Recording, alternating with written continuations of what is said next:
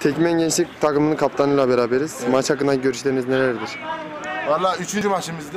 Ee, ilk puanımızı aldık ama yenebileceğimiz bir maçtı. Üç maçtır iyi oynuyoruz.